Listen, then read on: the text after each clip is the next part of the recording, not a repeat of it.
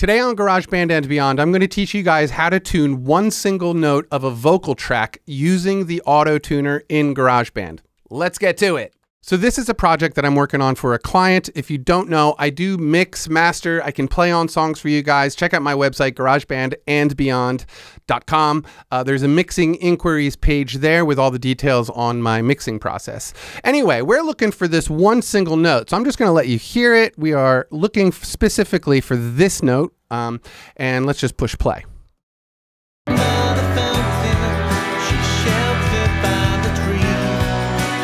Right? So the words, I think it's trees, and I'll just solo it.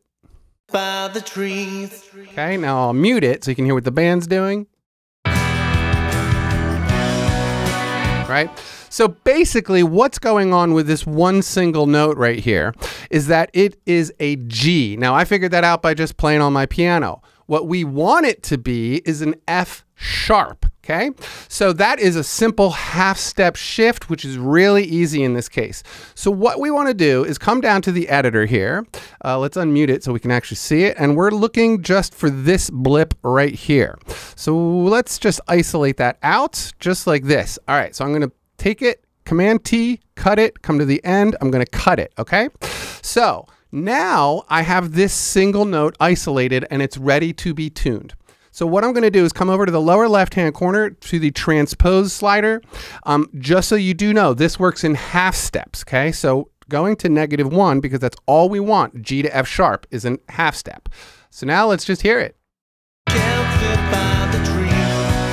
You hear that? Okay, let's solo it so you can actually hear it.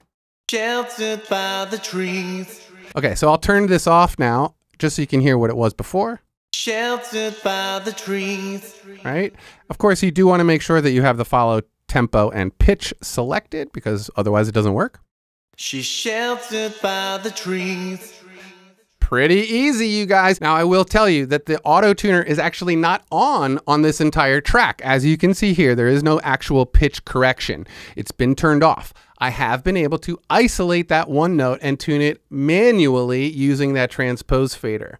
Again, that transpose fader works in half steps. If you don't know what the difference between a half step and a whole step, if you're a guitar player, let's say uh, fret three to four, that's a half step.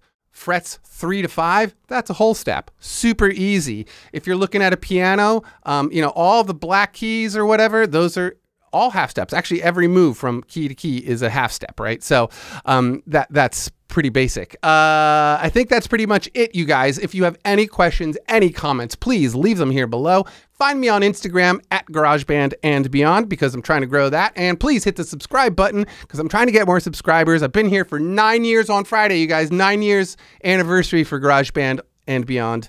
On this coming Friday, we're going to do something fun on that day. I hope. I think we're going to do something fun. All right, you guys have a great day. Peace.